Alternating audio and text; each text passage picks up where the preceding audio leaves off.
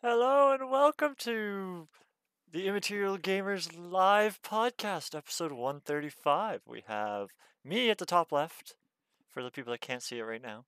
Then we have Danny over well over that way, kinda that way. Or D. And then right below me is Ryan, our trusty leader and cult leader. Welcome everyone to the cult of Immateria. We all follow the god Immaterium. Then uh, we will get our we will get our own spaceship and we'll end up on Mars. But as for last week with uh, Ryan losing power, he has his trusty candle to keep him powered in the background there. Yeah, it's it's it, it's very warm. It's very warm. Well, it's only a little candle. It's bigger than you, but it's only a little one. Yeah. It could be pumping out uh, gas. Stock video footage of a royalty free, free to use, zero attribution required footage of one candle. On a loop. I would laugh if there was, on a loop. I would laugh if there was royalties on it. Somebody's getting paid Nope, for it. I I made sure they were the the site that I got it from, which I think I still have the tab open. Give me one moment. Uh, no, I don't. That's a shame. Like Vixials or something like that. But it, yeah, it was it was free D's a pirate. and OD. Mm. D's trying to be a pirate. All right. yeah, for the, yeah, for the for the benefit of the audience, uh, if you are listening to this after the fact on all the uh, audio, Audio only version. stations, wherever your podcast is served, or just thrown there, then uh, yeah, yeah, D is D has basically become I. There's a, there's a there's a film or something where someone's like sunglasses get shot out, something like that. I don't remember anymore. So uh, yeah, uh, how's how's it been going this week, everyone? Ah, pretty good. Pretty good. Mhm. I we'll go our normal top left to bottom right. So seeing as I'm on the top left, I guess I get to start for once. I don't know why I'm at Yeah. the top left. I never been top left. I don't know what's going on That's because that's because usually Stefan's in front of you and it's in order. No, actually, how does that? I think it goes by Ah, whoever turns the camera on first. No, Huh. because Danny's ahead of you now. I don't know. It doesn't matter. I'm at the top right or top left. I know my lefts and rights. Don't worry. Um, so what we've been playing this week, we'll start with me. Uh, what did I play this week? Played a little bit of. Kerbal. Played a little bit of Kerbal Space Program. I- I'm attempting to remember how to play the game. There's some new stuff, and a random person has appeared. Darius.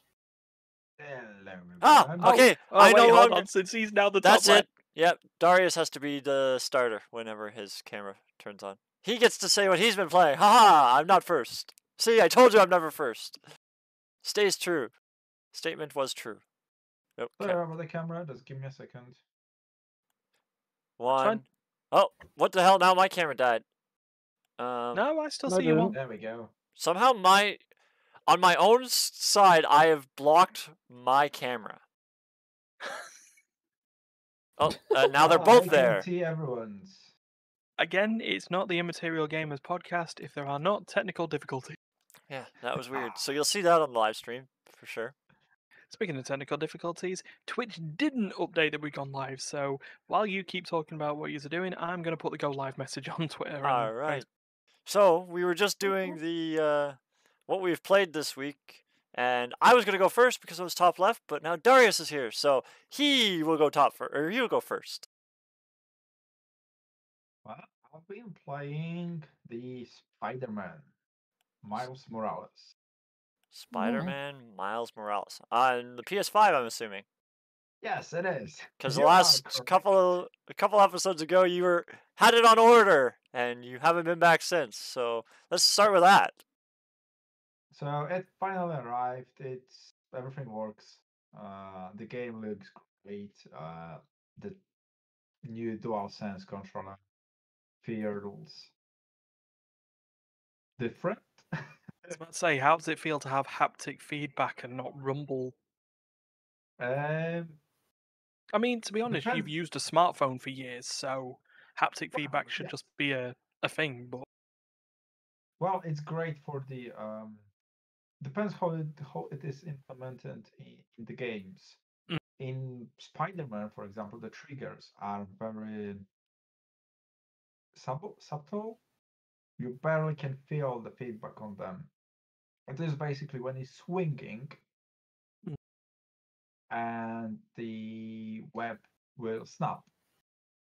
Mm. You, you should you kind of should feel like your finger is going much more deeper much more to the to the you know to the Yeah, the of the button should lose all pressure, yeah should basically. lo- yeah should lose the tension should lose the, the yes exactly. Uh, and it's very barely there but it's definitely you can still notice it if you do not press it all the way down in the first place. Because if That's you press it all the way down then there is no feed space left for the feedback for you However, if you, I was playing the um, Astrobots um, demo, tech demo basically of Mm. PlayStation Five, uh, and when you're holding a gun, an assault gun basically, you press you press your finger just halfway through, and it, it will be just wiggle like that That's Uh, kind of cool. Because it's continuously firing, and yeah, you can just Yeah, you, you get to It's just feel. like that happening, but a little bit So- faster. Wow, so it sort of react with you. Yeah, it was, wasn't yeah, wasn't there a thing as that like a few you- months ago that was like um like certain games where if your weapon would jam, it would jam the triggers. Yes. Hmm. It That's- can. It kind of can happen. I don't think it can happen like in the down, in the bottom side of it. Well, yeah, I don't think the motors. can jam on the top, so you will not be able to press it. Yeah, I- I can Ah. see the motors not having enough power to push back against your finger, Mm. but they can easily stop the movement. Yeah. Like just not allow Sort movement. So yeah, that's one of the that's a cri- quite neat feature. However, it have to be implemented in the game. Yeah, that's the thing. It's, it's down good. to down to the developer, isn't it, when it comes to how they use it. So we'll see how long it lasts. I remember Yeah. how how long Sixaxis lasted. Not very long. I don't even know what Sixaxis was. Um, it was basically a motion sensitive. It was like gyroscopic controller okay. for the DualShock Three. Um, No, Which, it's still like, have it. so you could sort of place the pad on its side and then sort of like tilt it, and you could like control stuff like mazes and sort of vehicles like that. But only a few developers used it early on, and then it was it went the way of the gimmick, like Kinect and everything like that. It just sort of right. We've had fun with it. Um, people just want to use analog sticks and trigger and play COD. So uh, Yeah, so it's it. So yeah, I finished Miles Morales. I do have the platinum trophy on it. Ah, Um, Stefan was present on the time when I was reaching the platinum. Ah, I would I would say viable. Um, there you go. You've got proof, but it's Steffi would probably just to dick you over, just turn around and go, "No. I didn't do it." Uh, well, there is also a proof of you know a trophy on my PlayStation Five account. Yeah, I mean, yeah, that'll that'll that'll, that'll be true. so yeah, well, that was a great game. I'm looking forward to something else to play on PlayStation Five. Just gotta wait for it to come Um, out. Uh yeah, well, I kind of like waiting for something new to come out. However, I'm do considering like playing the old games as well. Especially if we're talking like God of War, where the a- apparently they did adapt the triggers. So yeah, that's that, that that might be fun because apparently if you are holding the shield, to smash it, then something should happen to the trigger. Hmm. So might be just worth it for just this experience, isn't it? Mhm.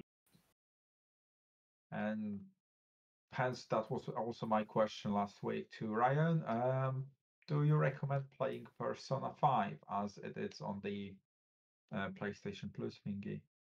Absolutely. If it's oh, if it's on So- PlayStation Plus, yes, definitely. Yeah. I don't have to, you know, pay extra for it. It's already there. Oh Um, yeah, de- definitely. I would. If you're like, you, you you like sort of turn-based RPGs and stuff like that. I mean, if you played any, I mean, not just Persona, but if you played anything from the Shin Megami Tensei Franchise. Tensei sort of franchise and sub-franchises. which I probably have not. Ah, but they're very it's like they're very easy to learn, difficult to master games because they, regardless of whether they split off into the spin-offs like Persona has and other games, they still follow the same sort of like stuff of turn-based figuring out elemental weaknesses of your opponents while also making sure that you've got your defenses there so you don't get hit with the same stuff because they all seem to follow the idea of hit an enemy with a weakness and you gain an extra turn.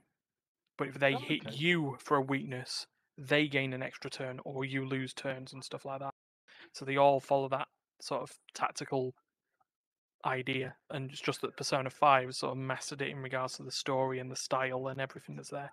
So absolutely is the Yeah, 'cause answer. I, I've also noticed there's a brand new Persona coming out right now, basically. Five. There, there is uh, Persona 5 Strikers, which I'll talk about once we get round the the group. Mm. Hey, okay. Brian's been playing it. Yep, and I will I Cool, will cool. talk about my experiences Uh, on that. Yeah, that So- was me basically enjoying uh, an experience on PlayStation 5. Um, one of the kind of my, I think, overlooking overlooked thing is I did get a bundle with camera. Mm. Uh, hoping that my girlfriend could play the Just Dance. Uh, right. and unfortunately it's just a camera camera video camera for online kind of thing Ah, so So s- um, that's a bit of disappointment and also the old camera for playstation 4 you cannot straight away connect it to the Five. playstation 5 Of course, they wouldn't make it user friendly. you can get um, a dongle An let's adapter. call it, adapter Uncle. you can get an ad- adapter for free if you do own PlayStation VR. I- Because the VR is also using the camera to track your movements, right? Yeah. Yeah, but if you do have your camera on its own, bad luck. You're you're out of luck. You gotta buy it buy it yourself. Yeah, you need to spend roughly extra 20 quid on 20 pounds on uh, eBay. No. Because you cannot officially buy it anyway. Oh, they don't even sell it. So, yeah, exactly. They, you cannot order it from Game or another store because they do not have it. You can only have it from directly from PlayStation website if you do have um, Yeah. the, the VR. Yes. So it's a little bit bollocks at the moment, but we'll see how everything develops in the next year or two. Yeah. Mm. Fair dues. All right. So is that Right, you? So, That was me. All right. Yeah. So I'll go back to what I was saying. Um, basically, Kerbal.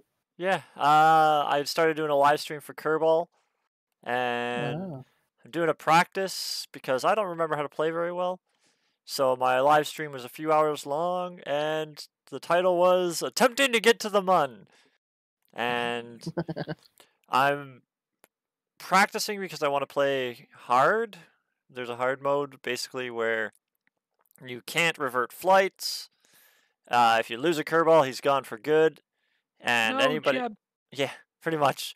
So I'm doing a practice on an easier mode to see if I can just remember the basics of getting to space so that I don't just start on hard and send Jebediah out into an expedition and then he's stuck out in space.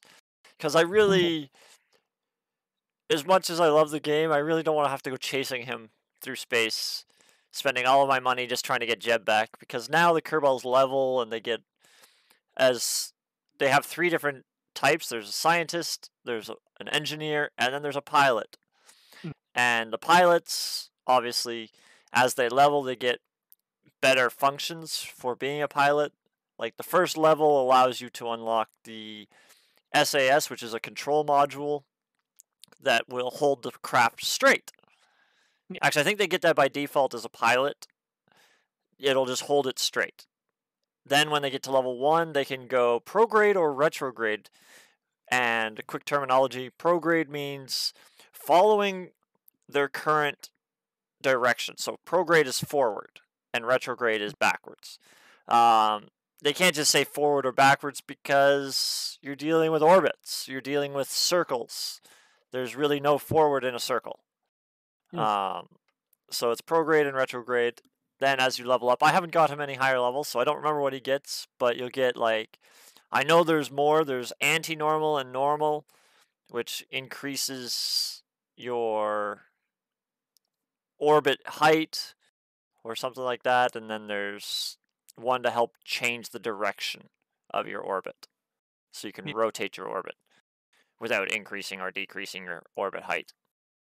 Um. So yeah, basically I'm doing a live stream of that, and you get to see me fail to get to the moon. I didn't have enough fuel on my last launch, and it was getting too late. And I talked on this one. I remembered Yeah. to talk through the, the the live stream this time. I find it very difficult to actually have a conversation with myself on the on Kerbal because It it's is- a very slow moving game. It is a weird example. It may be something that's uh, maybe it's, uh, like it's one of those that could do with a co-pilot. Yeah, or even recorded ahead of time and then chopped into a shorter video.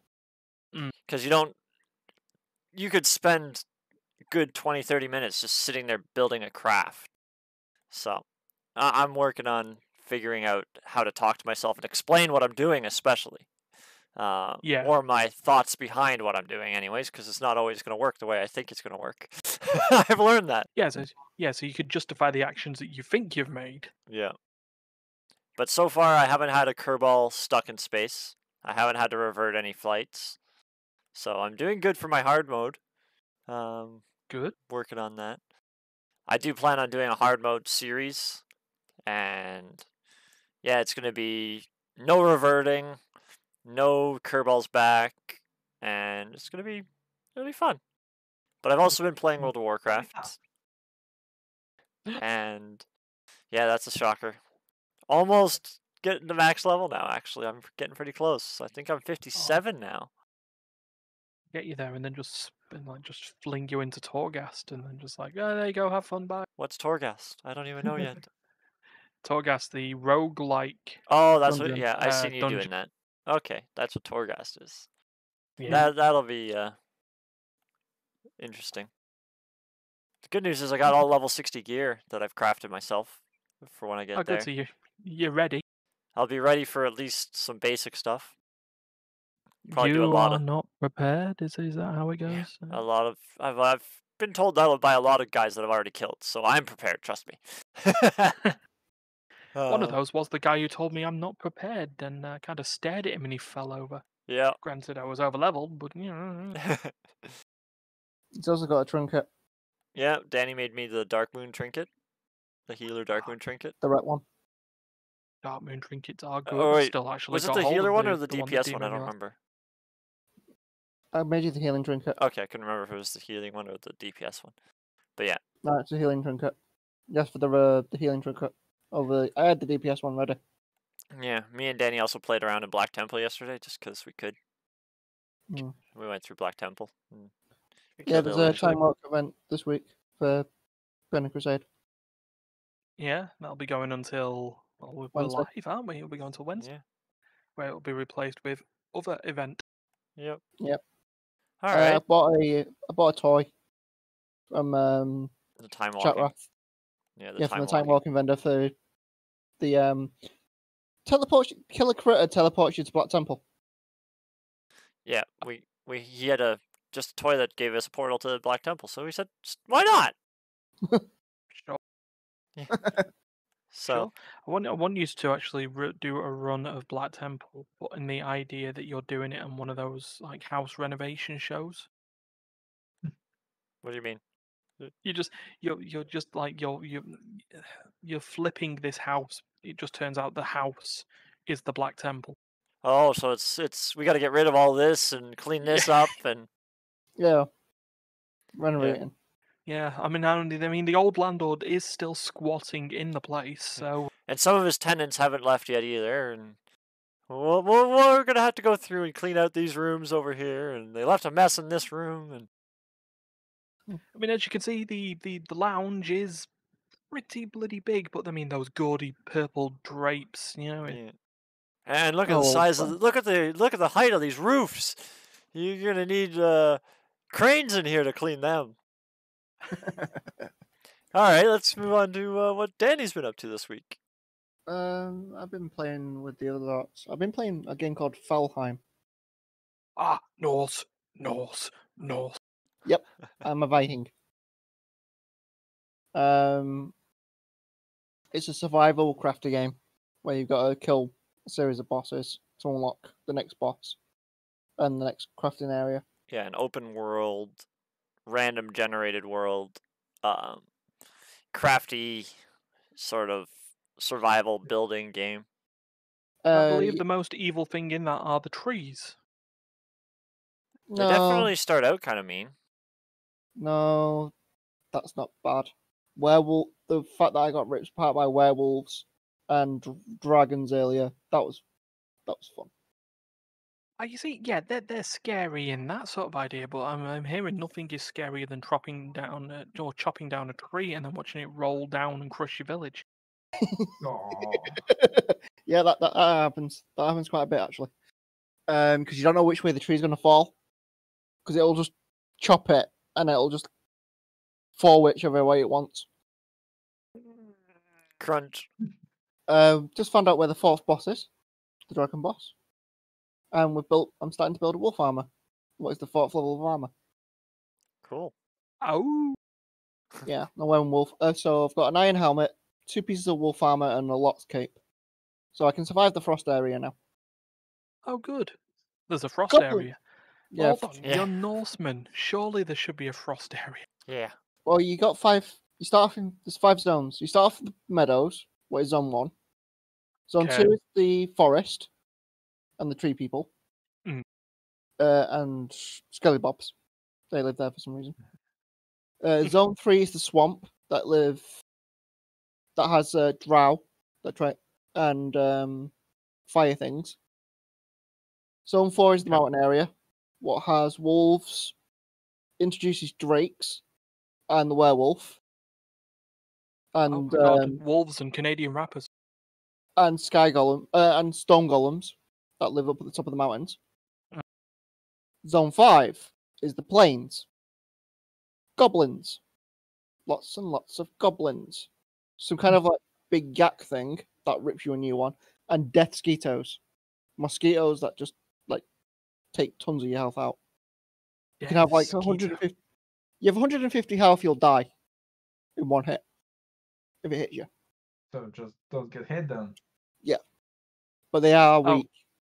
Don't you uh, Dark Souls me. Uh, they are. if you can hit them in, if you can hit them with your mace, you can one shot them. Okay. Um, but they're fast little gets and they're really hard. The goblins, you know when they're about because they giggle. You stay. I was about to say, do they, do they do they giggle like Japanese high school children, or do they giggle like the witch in the Atmosfear board games? You know. More like that. okay. More like that. Uh, they just giggle, and you can hear them giggling for ages, and it's like, no, run away, because we're not ready for them yet. The planes is the hardest zone. Okay. So, um, but you can go between them willy nilly, and they can cross the borders as well. So if you're on a plains and there's a meadow nearby, you're not safe. They'll just wander over, Never say. and there's like Never blood moons and stuff. That there's always an event that happens. Each time you're down a boss, you'll get then have a chance for that event to happen in your base, and they come running at you. Like we had trolls. They just came running out of the forest and non base. They have a forest troll. Yeah, forest trolls. Um, then we had a fire thing, so a whole bunch of fire imp things set everything on fire. Fantastic. But yeah, you down the five bosses, and then you mount the heads on the circling the spawn area, and you get a buff. Mm. Uh, the first boss gives you a speed boost. Second boss gives you mining speed. Third boss, I'm not sure what it gives.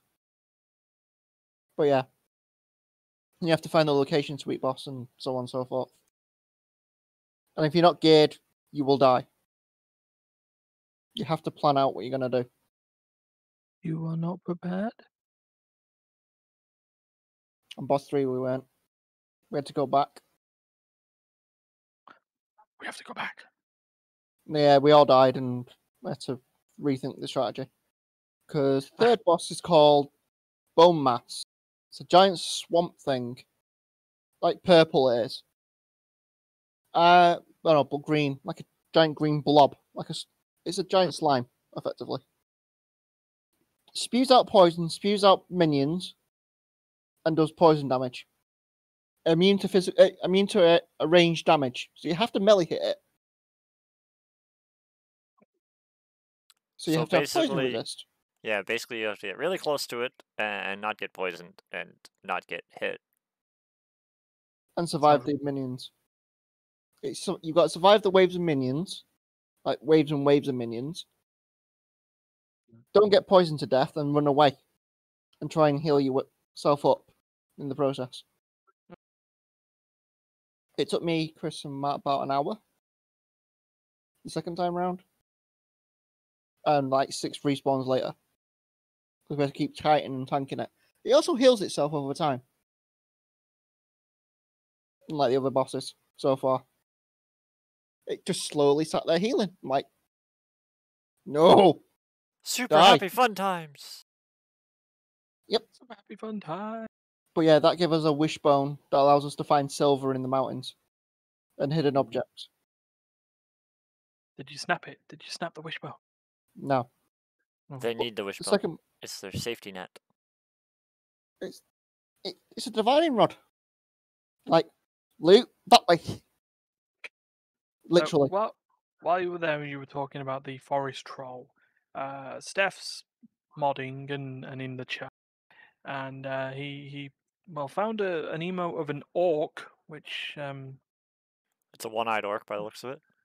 yeah, uh, I guess it's the closest thing to a troll we can get. Uh, otherwise, we're gonna look at someone's Twitter feed, and then we'll find plenty of trolls there.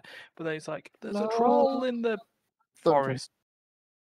I thought I thought you A would troll in the tree. in the tree. One tree. It can't be a forest if it's a single tree. No, but it's Now, uh, of course, that troll like decides he wants to be a troll and knocks that one tree down, knowing that your Wasn't village there is a down the hill. troll in the dungeon. that's Harry Potter. Yeah. And also, he thought you ought to know. There's a troll in the dungeon. I thought you wanna know. Puh. Professor Quirrell. Uh, indeed. uh what was it but yeah the troll actually troll's weapon is a freaking tree a big mass he just pulls a tree up and starts swinging it Nope. Ooh! Nope. Nope. Nope. it's like troll's like yay big full size tree has a swing about that big your character's about this big yeah Wow. ow ow Run away. So that's you and your Valheim. Mm-hmm. Oh yeah. Uh, so maybe we should delve quickly into the story of why Stefan's not here. Oh yeah, yeah. He broke his butt. Yeah, his bro- his butt is broken. As well you to be know? to be. He He had an fell out the incident involving a loft ladder and a loft. He's he's fine. He's just hurt. But yeah it's just it was just nice to like come onto the computer this morning to upload the persona video for today and just seeing in the status in Discord it just says broken me bum. There was a, there was another little light emote and I don't know if it was a ladder or something. It's just but he nearly became Stefan on a stake. On a stick he'll always be Stefan on a stake. He will. All right, He now will. now on to what Chiz has been playing. Yeah, so uh I've been playing Persona 5 Strikers. Um, so Surprise! Darius, so you, so you're aware. I have to try and keep this now plot light because Persona play it- 5 Strikers is a direct sequel to Persona 5 Okay. and Persona 5 Royal. Um, you don't need to have played Persona 5 to play Strikers because with the way that the storyline works, they'll catch you up on all the it sort gives you the like, information you need when you need it. Yeah, Mhm. good ball, bit of exposition, and there is a sort of a like an audience surrogate in the form of an AI called Sophia, Uh, who um, sort of asks what the main characters, the Phantom Thieves, had done previously and why they know how to do what they do in this. But in this, in the same way of the Yakuza games turning from a sort of brawling game to a turn-based RPG, Strikers has gone from a turn-based RPG to a Musou game, i.e., Dynasty Warriors, Samurai Warriors, X Warriors, mhm. Um, or have they more more recently been doing because the Dynasty Warriors games. Well, you can only tell the, the the Romance of the Three Kingdoms so many times. In the case of, um, in the case of the Dynasty Warriors franchise, they've told it nine times. Mm. Um, The Yellow Rebellion and so on and so forth.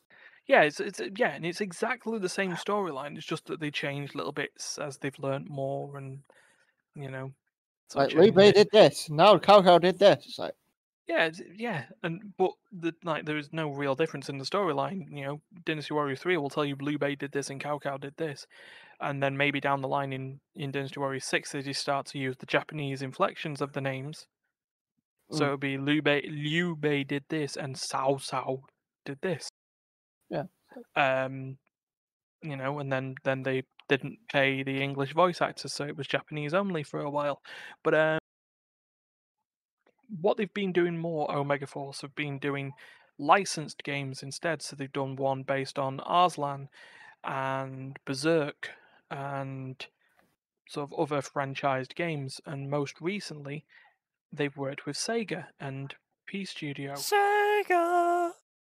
So they now have, yeah, they now have a button mashing game set in the Persona universe Mm.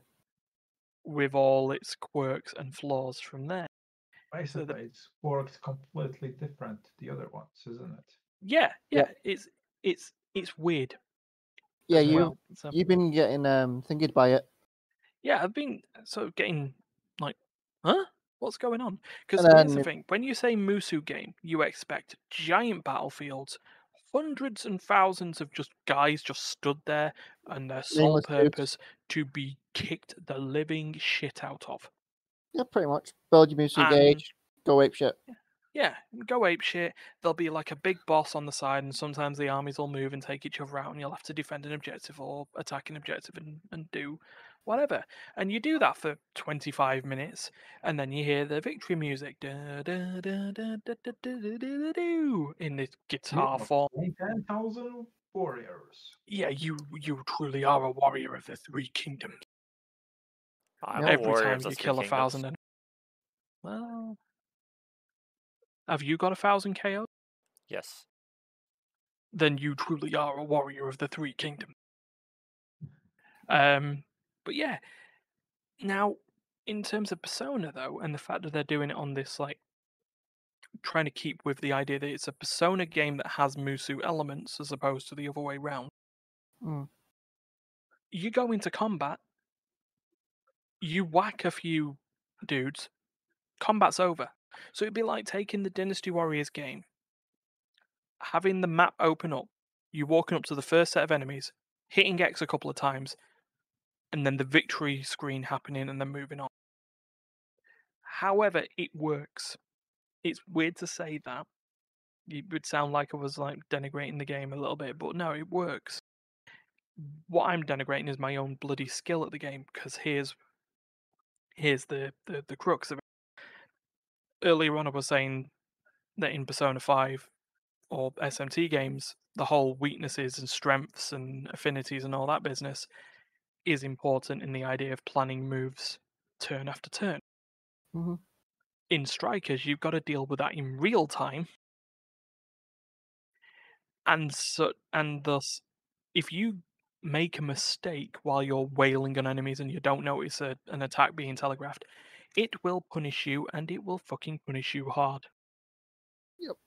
If you don't know, it's like, Like, yeah, I've I've been I've had two game overs already because I just didn't I was just too busy wailing on enemies to not realize that a boss was charging up one of its big attacks and it clattered my whole party because we were all set up and it hit us for our weaknesses so it just destroyed us Mm.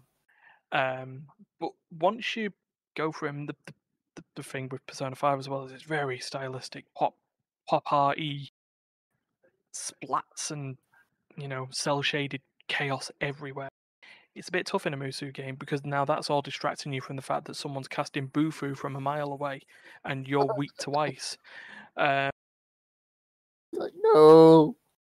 You, sir, are dead. Oh yeah. Yeah. Yeah. But um yeah, it's fun. I'm liking it. I'm liking the story and the fact that it continues on. Even if it's a bit weird and it continues on directly from Persona 5 and not from its upgraded version Persona 5 Royal. There is a character that you meet in Persona 5 Royal who is non-existent in Strikers because they weren't in Persona 5. They were added to Royal.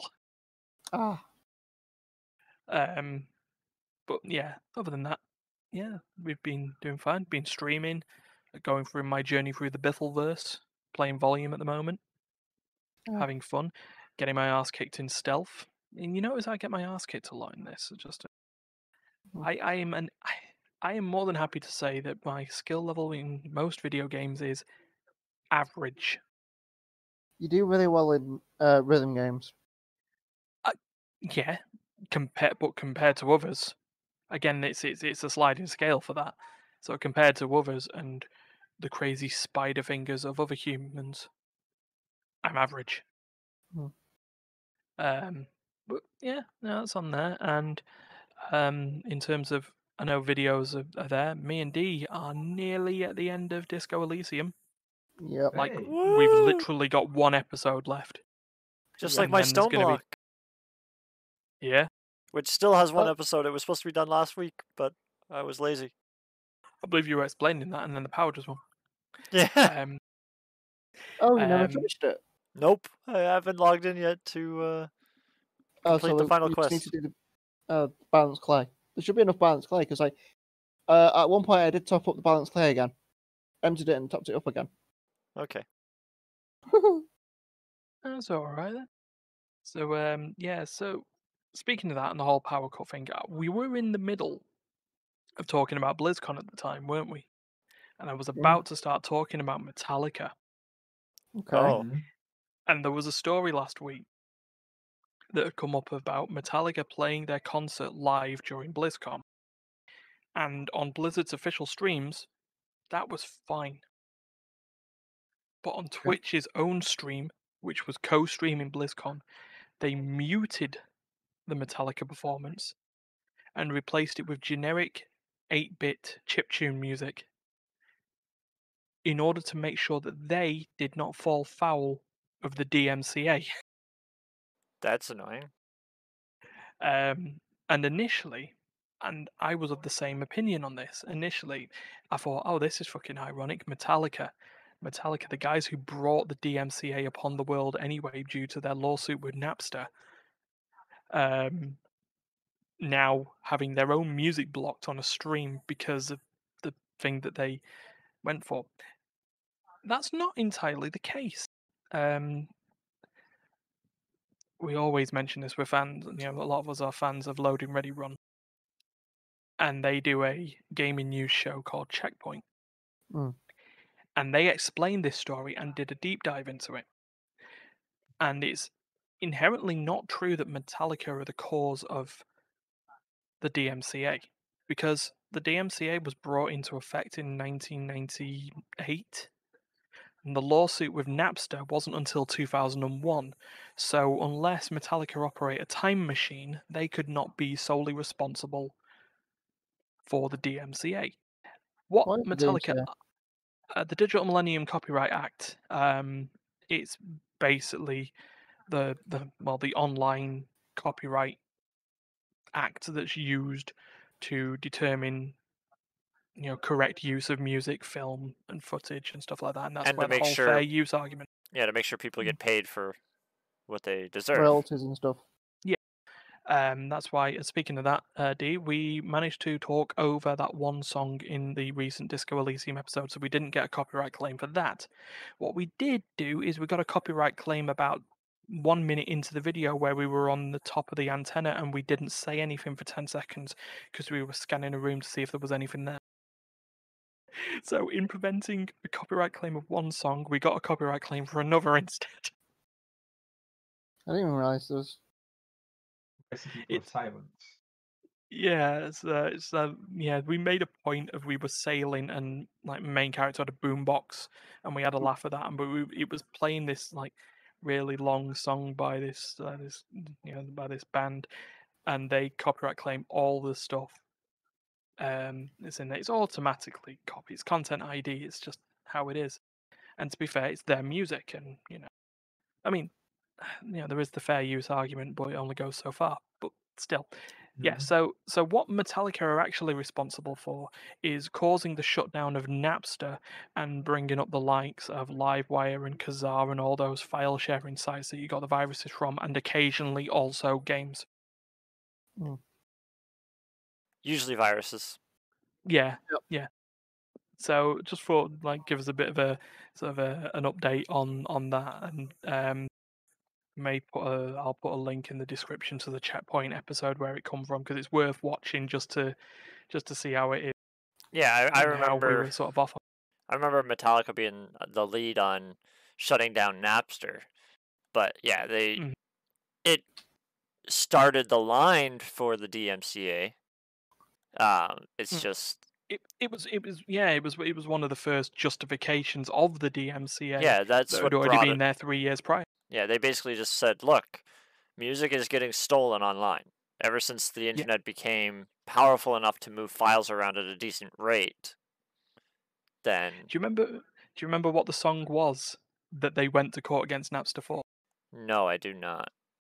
It was the theme to Mission Impossible 2. Um, it was the soundtrack. It was "I Disappear." You know, hey, hey, hey. Yeah. And that's about as much as I can sing on that before I get sued by Metallica. Hey, hey. Um, yeah, it leaked, and the first they knew that it was leaked was when a radio station was playing the song while they were practicing. Why were they listening to the radio while practicing? I don't know. Well, they were just there, and you know, Lars Ulrich just like, hold on, that's our song. Where'd that? Wait, what? Hold on, phone the record company. Did you do anything about? No, what? The? Yeah, Yeah, it's just. But uh, yeah, so that was that was fun. So that's a bit of a, a wrap up of news from last week. Okay. Um, there's a couple of pieces of news that have come up. One that Terry has put in, and another that I've got. We'll go with Terry's first. no more So- uh, loading simulator. Yeah, uh, Grand Theft Auto Online, i.e., Loading Simulator uh, 2021. We've all played GTA, haven't we, on various things, whether it's on the PS4 or 5 or 3. PlayStation 3. Um, or, yeah, and particularly in regards to the PC version, it just taking, Forever. yeah, I think the Um, I think it says six minutes it takes to load into some servers. That's what that. yeah. Yep. Which, which, when you're loading into time-sensitive events, six minutes, a race will have happened and your car wouldn't have even moved because you haven't loaded in yet. Yep. And then you know coming out, but um, according to this PC Gamer article that that Terry found, someone has figured out how to reduce GTA Online's load times by almost seventy percent. So you'll only need to like wait, you know, an hour and uh, an hour, a minute and forty-five seconds as opposed to Like six minutes minutes. or what. Um, Yeah. it's a GitHub user tostercx um, has uploaded fixed code.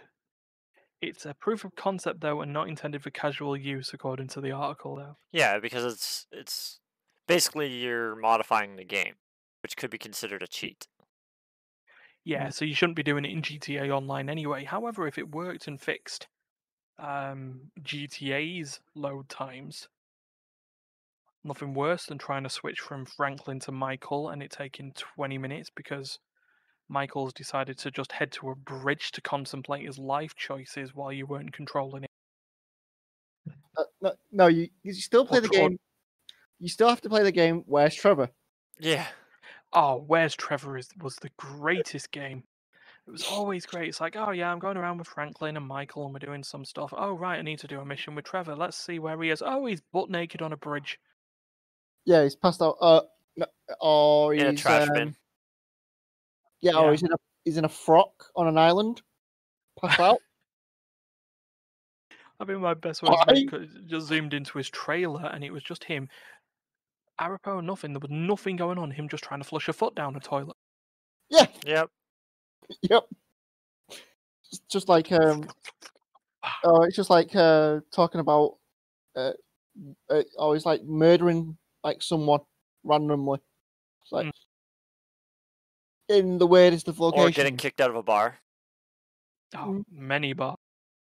Yeah, that's actually yeah. It's like yeah, yeah, switch into Trevor, and the fact that you're immediately in a fist fight because, well, it's Trevor. Yeah. Where Franklin's is like he's in the house, he's washing his car, or He's getting he's getting rejected by Tanisha again. Yeah, or he's coming out of a strip club. Yeah. But yeah, so from that article, it also says he also says that the where was the Rockstar team should have been able to figure this one out.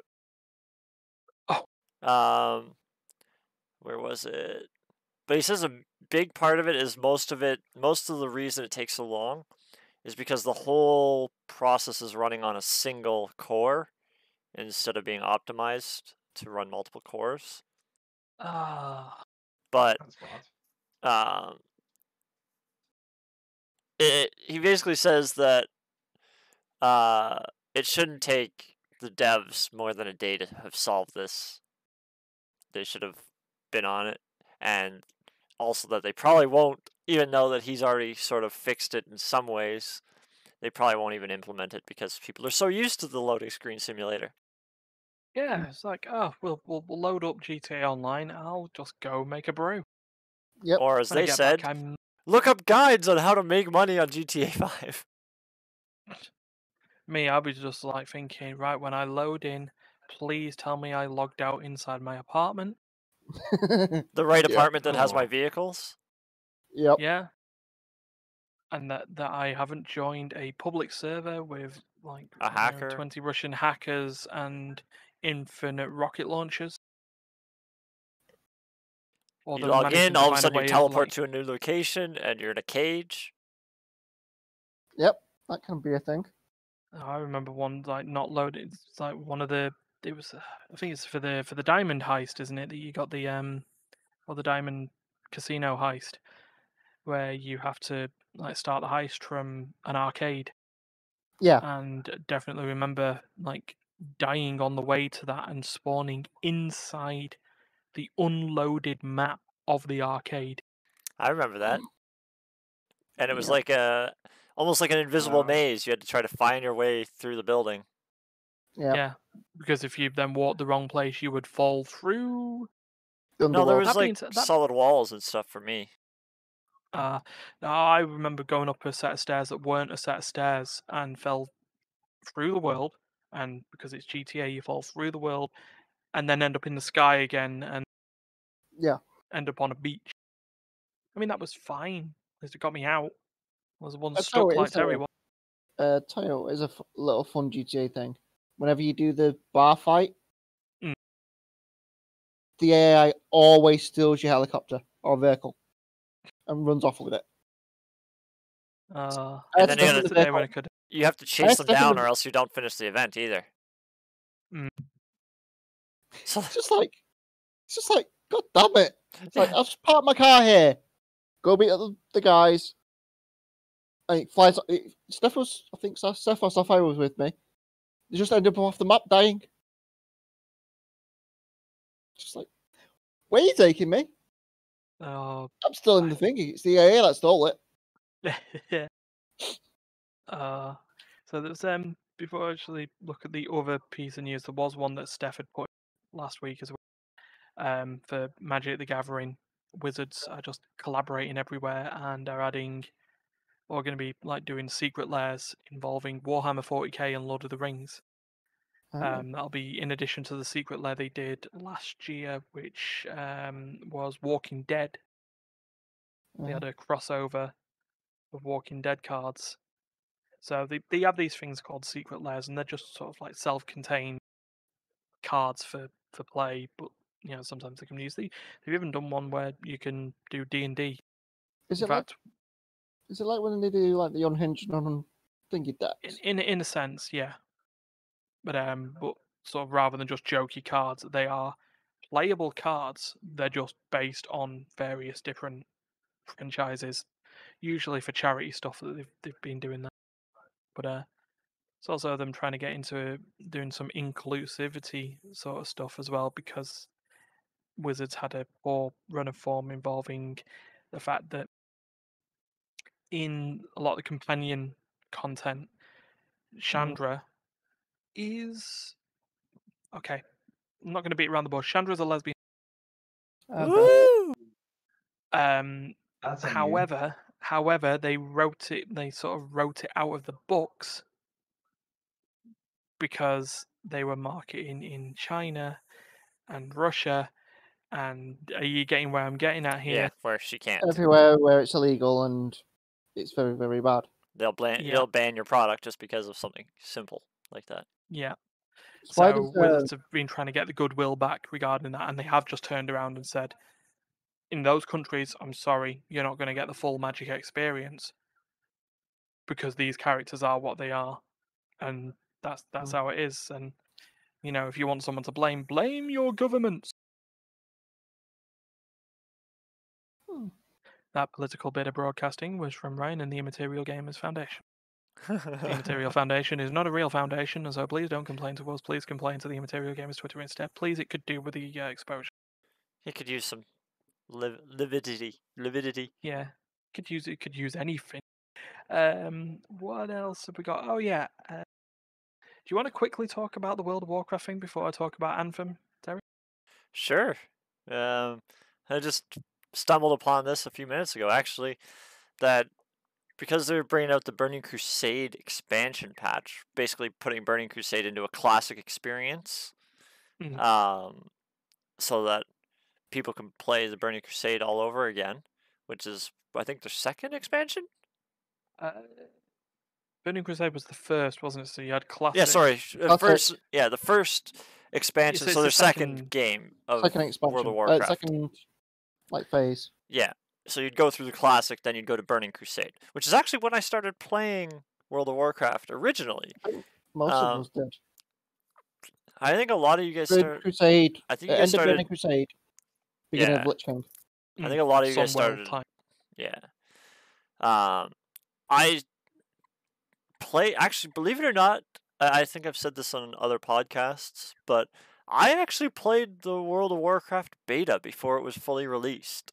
Um, Mm. and me and my friends had access to it, and we played it. They had a European access. We didn't actually have Canadian access. Like there was no North American access. It was a European account. Um, but we all played, and I didn't like it back then. So I didn't play when the first when the game first released. I didn't like the whole idea that you buy the game and then you got to pay for time. That that really rubbed me the wrong way.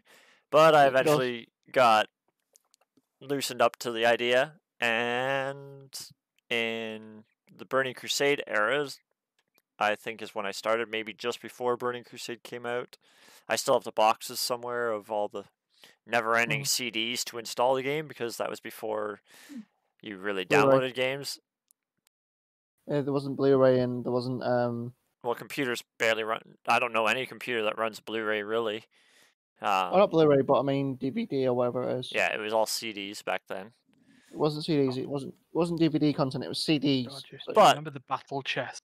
Yeah, but the bu- onto the under what I I was actually chest. trying to talk about is currently there's more than 1,300 people that have signed up to do this fresh uh, leveling experience for the upcoming Burning Crusade expansion. Hmm. Um, it looks like they want to move. They're gonna start brand new characters on a random server that's yet to be determined in the European realms because they don't. a fresh server. They said, um, Yeah, they don't want a server that's uh, flooded with high man like high amounts of gold and all that stuff. They want to, yeah, basically, they want a fresh start, and they're looking to hit two thousand uh, people by Friday. This Friday coming up. I don't know when this expansion is actually coming out, but it doesn't have a date yet. It was only just announced last week, so it's yeah, which is weird Blizzard. because It's soon. Uh, unless they're all just I don't get it. Like they said the event is due to go live on March 5th. So I think their idea is that they're giving themselves enough time to level up Oh, to get to the hot through through vanilla, and then But what's to stop people from finding out what server this is and just transferring characters to it? They could. Well, I actually, if I'm not mistaken, well, no, because if it's a dead server, a lot of those servers have free transfers too, which is the scarier part. Um, So I, I guess I, they might keep it sort of a secret. They might not advertise what server they're going to. They might only advertise to the people that they're that sign up for it. Mm. So I, I kind of wish have a- I kind of wish um seeing as I'm just starting to level, I kind of wish I had heard about this. I would have joined them. Yeah, and probably would have just got a few of us sitting there crowding around waiting for Hogger. Yeah. Uh, I don't miss that. I don't miss that. I, Um, Sorry, if anyone right, if anyone can truly come to me and say that they enjoyed waiting around to hope that you got the first hit in on Hogger, regardless of whether you were in a group or not. It Mm. you see it it makes me right. There are some design decisions that Blizzard have done in regards to the newer content, which people could say have been dumbed down and stuff like that. Yeah. Stuff that I'd say have been good for um, Blizzard in terms of design is quest mobs that basically cannot get tapped. So Hmm. anyone has a chance of taking them on. So there isn't just a queue of people, you know, an orderly line of people taking on, you know, mobs. Yeah. Party sync is also something that they should have done ages ago, and RPGs have done before them. And the sort of, I mean, I guess the, the thing with Blizzard on that, and the better thing that they've done is that they reset all the quests around there as well, so you can redo them.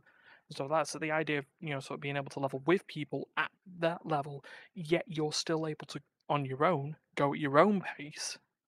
yeah, that's one of my favorite things because, like, like I said, I just joined back, and you guys were all max level. I had nothing max level. Um, And so that, that that led to two situations. Then either like get a boost token and level up another character, or just party sync down with a character that you're already comfortable with. yeah. And So yes, Chiz, you were ahead. correct. Um, uh, basically, there's basically telling everybody to come to uh, their Discord server to figure out where they're going to go and all that.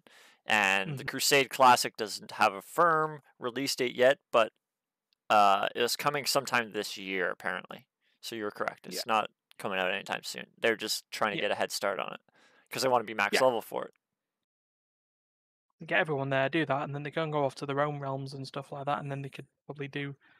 Because I mean, if it's going to go, if they're doing the classic thing, they're probably going to do the classic events leading up to the Burning Crusade. So they're going to do the whole open in the Dark Portal event again, aren't they? So Yeah. which will be interesting. Maybe seeing that a second time. In fact, actually wondering on that if they would have redone the opening of the Temple of Ahn'Qiraj as well. That would have been Hmm. interesting to do. But we'll we'll see how it goes. So there is one last story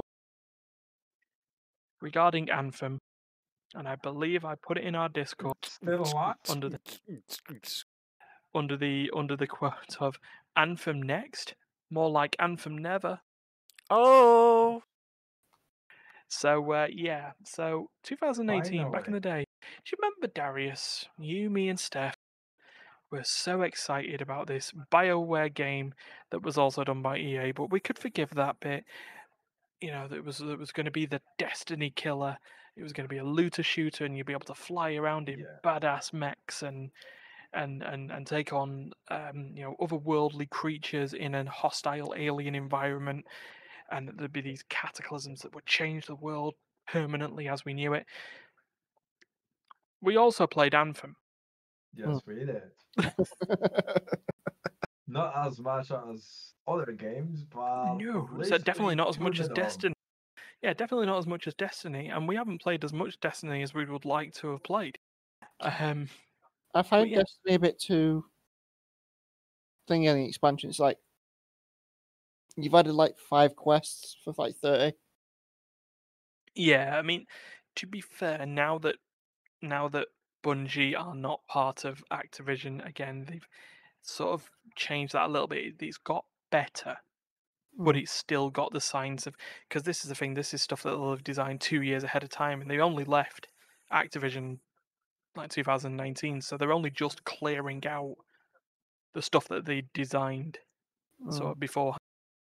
But yeah, what we were hoping on with this really disappointing launch, I mean, it was a great fundamental of a game, but it was literally foundation level stuff that was implemented into Act 1 of a supposed three act season pass style roadmap structure of a live service. I can't Mhm. help but being acting like James Stephanie Sterling at that point of live service. Just saying it as sneeringly as possible and triple A. Um, but yeah, so at the end of the day, BioWare said, right, we're not going to carry on with that roadmap. It's clear that that's not going to work. We need to improve on this. We need to rebuild the game from the ground up. So we're going to do an Anthem day 2.0. There was lots of problems with the game. Yeah. Yeah, that's what I was saying. There was a great foundation, Yes, but there was not enough to support a live yeah. service. So, so yeah, Anthem 2.0 or Anthem Next, as it was internally known. As. 18 months later, Yeah, I was gonna say that was more than a year ago they introduced the idea of it, isn't it? yeah, eight 18 months later, EA got in there, spoke to BioWare, and so we're, we're going to decide in the next week whether this is going to be a thing or not. And yeah, last weekend, nope. Cancelled. The redesign scrapped. They Um, thought about it a year ago. Yeah, it should have. Yeah, yeah. Note on this that they were still selling the game at deep discount to people, so that they could be ready for this relaunch of this game. Well, now you've you okay. It's it's it's a game that's worth five to ten quid, because there's only five to ten quid worth of game in it. But look, I fucking sat there and played that on Origin Premium at fifteen quid a month. Yeah, fool on me. hoping that they would improve that game and do stuff.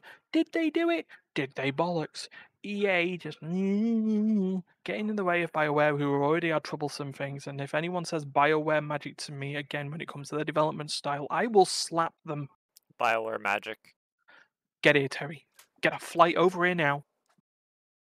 Hold on, hold on, hold on, hold on. I can. Ah! Um, because you know, again, we can all talk about like abusive workplace structure and stuff like that, and crunch and all that business. It's been talked about well before.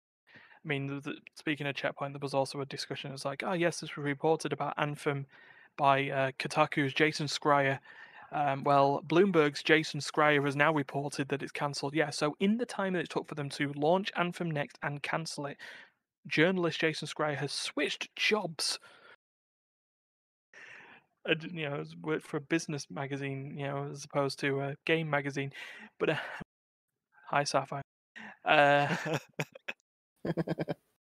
so yeah, that's that's disappointing. Now, however, good news for people who are looking forward to Dragon Age 4, Steph. Um, they've moved everyone from the Anthem Next project onto Dragon Dragon Age 4 and have also stated that it is more than likely going to be a purely single player experience. Well, it just means if they moved everything from Anthem, that it's gonna be a flop too. There you go. Perfect. Ooh. Uh, well, they've also moved them onto the next Mass Effect game. That's not the Mass Effect remaster that's coming out in May, which may be some. That'll be some probably some RPN fodder. Uh, go back through that again in remastered glory and basically see Miranda's ass. Um, oh no, we won't. They got rid of that. Um, Wah, wah, wah. rid of Miranda's butt. The Adventures of Femshep will. The only continue, butt that though. needs to be involved in this is Stefan's. Stefan's broken bum.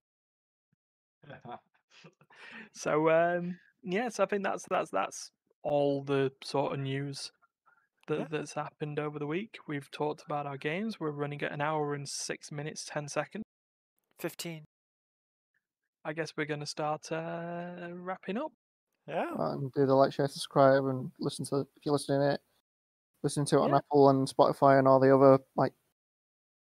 Come send us a podcast services. message. Email us. follow- All that jazz. You can, Yeah, Wherever- follow us. Yeah, we're on. We're on, we're on everything on the YouTube. Subscribe on the podcast services. Subscribe. We're on Amazon Music, Spotify, Apple, iTunes, iHeartRadio for that one Follow. episode again. Still, I keep making that joke. Um, the yeah, follow. Give us a follow on the Twitch channel. We stream at least twice a week yeah. because Well, 3 we're, we're usually. doing we're doing one day. Yeah, we, yeah, two been, three times a week. we do three now because we've been doing these live podcasts. Then you do one, and Yeah. I almost always do at least Yeah. one. Yeah. So that's three. So, So uh, the, the live podcast has started becoming a thing. It looks like it. don't. It's looking like it. It works you know, to out be because honest, I'm around. Take some of the And you know slack off of uh, Ryan. Yeah, you know what? It's it's easier to fucking edit as well. Yeah. I just I just export this straight onto YouTube. That's where we got Boom. the intro and outro on the end. That's that sorted. And all I got to do to do the audio edit is put it into put the video into Audacity and re uh, re-export it as an MP3. Boom.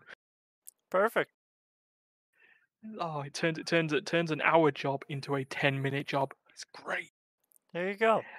And You've got enough um, on your plate, anyways. So Yeah, you know what we haven't done in a while? We haven't done the video schedule of how how, how things work. So if you are still listening, congrats, you're still here. Yeah. But hi Martin. Um don't worry about that. we can't see him in the video. So. No, no, no, a snore happened. Oh. it, it shit me up. I was in the middle of go I was in the middle of going through and there's just like a like, he's he's tired. It's it's fine. But yeah, so we do videos pretty much every single day of the week. So on Monday we have Better Together, which is Duncan and Andrea playing some long form game. At the moment, they're playing Persona Five. Hmm. They're playing Royal. Darius, be careful. Spoilers. Um, but they're they're going to be going. That's a hundred and fifty hour game. They're going to be going for. They're only on Yes. episode twenty one. They're going to be going for the next two years. No, they're not because they're also on Thursday as well, editing possible or where possible, two times a week. They'll be doing that Tuesday. The VOD of the podcast comes out if you missed it today. Um, Wednesday is going rogue at the moment, which is me going through some roguelike games, uh, back going through Void Bastards. Still not lost me third agent out of 10 yet, third client out of 10, so that's all good. Thursday, like we said, better together, but it is also the live stream dump. So all the VODs of the previous week will end up out on that day as well. Hmm. Uh, Friday is currently the Immaterial Gamers Fantasy League, but would also be where the, the live stream dump would be happening if, you know, that's going. We're near the end of that now. We've got two weeks of main play left, and then we get rid of three of us and we move on to the playoffs. And so, it looks like I'm gonna go down and hey, I'll be joining you at this rate, mate. yeah. Uh, so that'll, that'll that'll be a fun one. Um, Saturday is play session where we just whatever we want to play. Usually party games or multiplayer stuff. Sometimes we do some cooperative stuff. Sometimes we just sit there and watch Steph play for a point and click puzzle game and see if he'll figure out the puzzle. Hmm. That's led to some gaps. We're getting back through the room because he, he he likes those games. Yep. Um, I I suggested them to him, and he does enjoy them. We just don't play it nearly often enough. Maybe even it's something to do as a live stream, just to catch up and get them through. Um, and then Sunday is RPN. Um, used to stand for, well, it currently still does stand for role playing Notima games, but it ended up being role playing Nel2 games as well because we're co go- going through that. And that's the finale of Disco Elysium will be happening. So we'll have to find another RPG to play. Uh, currently got an idea at one point when it bothers coming out of looking at getting um, League of Legends Ruined King, which Mhm. is the sort of uh, the game by the guys who made Battle Chasers Nightwar, and it uses the same systems in there, so that'll be pretty cool to play. But it's not out yet, so I'll have to find something to play in the middle of it. I Um, keep saying, I keep joking and saying that we'll play Mass Effect Andromeda. I don't know if I'm being serious or not. Hmm. Every time I keep going, oh yeah, we'll do Mass Effect Andromeda. I find any other RPG. That's okay. It's sort of like how I keep saying, "Oh, we should do Portal Two co- uh, co-op campaigns again," and, and I, I think I installed it, but I don't think we've ever got anywhere close to even launching it. No, I I said if you wanted to. Yeah, you, And you you went, should "Nah." do one, co-pilot one. Do it as a stream. yeah. I'll need to like be learning. I should. I keep promising I'll say this, but I'll start learning how to use OBS Ninja. Because if you need a director for that, I could probably do that or produce. What's OBS Ninja? It's a way of capturing multiple people's like webcams and gameplay footage and putting it into one big screen that you can export into OBS to then stream out to people. Oh, that that would definitely be useful. Yeah, but um, uh, there's a lot of like cogs and In all bits and pieces fairness.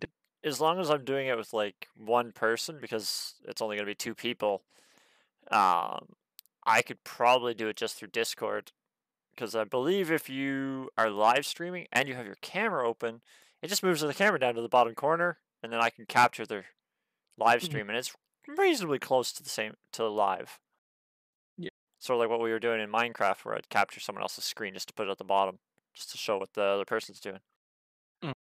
See, that's yeah, that's the thing. But I'll like We'll work on that. next couple of next couple of like days, weeks, or whatever. I'll go back into OBS Ninja and I'll just show people how it works, and I'll need to grab their links so we can grab their bits and pieces anyway. Yeah. But uh, yeah, we'll do that. Right. So we have talked on for way too long. An hour Mhm. and 15 minutes. That was one of our longest podcasts. Yeah, for a while. So um, yeah, while. Right. Have a good night, everyone. Uh, this will be out on the VOD tomorrow, and uh, we will see you next time. Yep, see you Bye. Toodaloo.